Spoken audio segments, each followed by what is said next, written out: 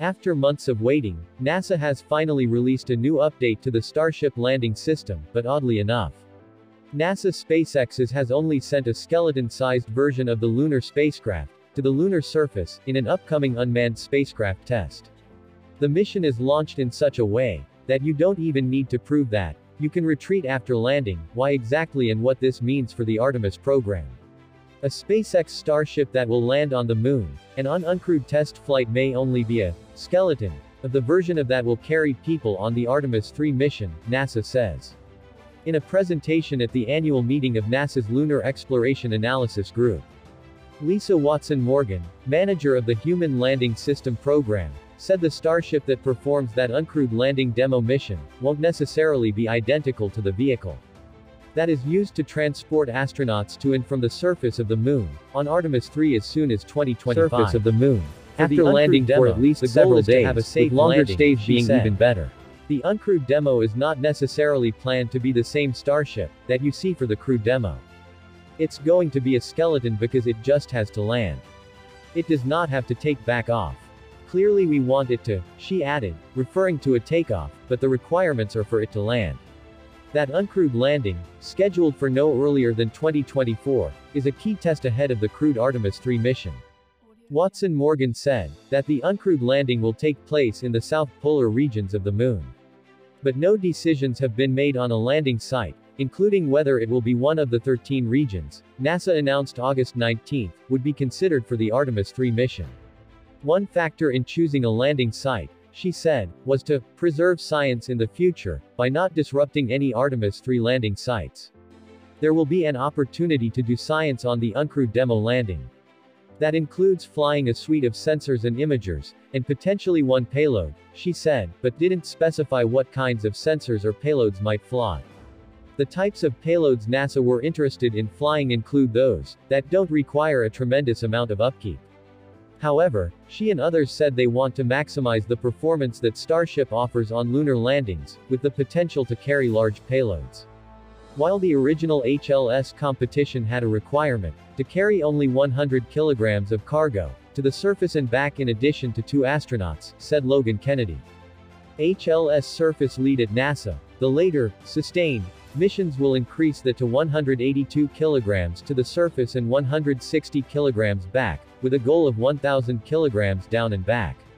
We're going to leverage all that we can on this mission to try and take up and down as much as we can, using the size of their system, Watson Morgan said. She said SpaceX has been a fantastic partner on HLS so far, with close cooperation between the company and the agency. SpaceX has been involved in the Artemis 3 landing site selection process to ensure potential landing regions are compatible with Starship.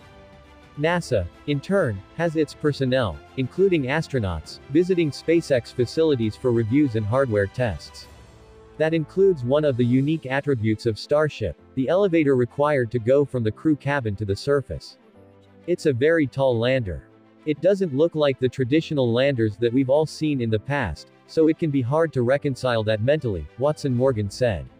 She assured scientists at the meeting that the elevator design was robust, saying it was multi-fault tolerant and designed for operating in lunar conditions. In his presentation, Kennedy showed images of a full-scale mock-up of the elevator that SpaceX built for crew in the loop tests, including ones where astronauts wore simulated spacesuits to test the ability to get in and out of the elevator. Some aspects of the overall Starship lunar landing architecture, though, remain unclear. The concept of operations for the lander involves SpaceX launching a Starship into low Earth orbit that will serve as a fuel depot, which is filled by subsequent Starship launches that serve as tankers. The lunar lander Starship will then launch, fill its tanks at the depot, and head to lunar orbit. Neither NASA nor SpaceX, though, have said exactly how many launches will be required for a single Starship lunar landing mission. An issue of contention during protests of the SpaceX HLS award last year by Blue Origin. How many? However many is needed. That is how many we'll launch, Watson Morgan said. NASA's requirements for HLS missions end once the astronauts are returned to Orion. We don't tell them to do anything with it, Kennedy said of the fate of the Starship lander after returning astronauts from the lunar surface. That's going to be up to SpaceX. However, we must first launch Artemis 1, the historic start of the moon landings. NASA's Artemis 1 mission completed flight testing on Monday. Due to third engine issue the launch was scrubbed. Now the space agency granted the final launch for the two-hour launch window, at 8.33 a.m., with a truly special launch on September 3. NASA Deputy Director Robert Cavanaugh told reporters, it had been a long day at a press conference Monday night. Returning to Earth after a 42-day trip near the Moon, the primary goal of the mission is to test Orion's heat shield as it re-enters Earth's atmosphere. A task that could greatly reduce the stress that Artemis 1 has to carry out since it has no real crew, is the first integrated test flight of the SLS and Orion, which is the launch of Artemis 2. The next Artemis 2 and 3 mission that NASA hopes to launch in 2024 year means the crew will board, but not land on the lunar surface reserved for the Artemis 3 main event. Here, NASA aims to be the first man and woman to land on the moon by the end of 2025, when Artemis is launched. The Skeleton spacecraft will assemble at the Kennedy Space Center, and the launch observation area to launch the SLS rocket. With a substantial amount of money, now on the table for SpaceX to begin initial work on its moon Starship. It's worth analyzing, just how different it is from the Starship the company is working on today. First and foremost, perhaps the most obvious difference between SpaceX's base Starship and its lunar variant is the rocket's hull. In the case of the moonbound ship, SpaceX appears to have scrapped to a fully painted vehicle for unknown reasons. More likely than not, that white paint is likely motivated by the fact that proposed NASA moon landers must, obviously, be capable of landing, and safely returning their astronaut cargo back into lunar orbit. To do that, those landers must be able to sit on the surface of the moon after landing, for at least several days, with longer stays being even better. NASA and SpaceX have their work cut out for them. For instance, SpaceX is still figuring out how many Starship spacecraft it will have to launch into orbit to actually get to the moon. The company is envisioning the spacecraft to also serve as a mobile fuel tank, providing a place for other Starship to refuel in orbit before headed to Moontown. Last year, SpaceX CEO Elon Musk wagered a guess, estimating that it will take, max of 8, Starships worth of fuel to get to the moon and back.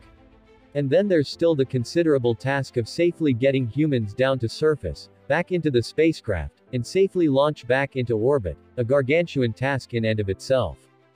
Thanks for watching this video and it's a super interesting topic. If you like this to make sure you can subscribe. If you have any crazy idea what we should cover in next video, please comment it below, and we will see if we can get the, and thanks again for watching and goodbye.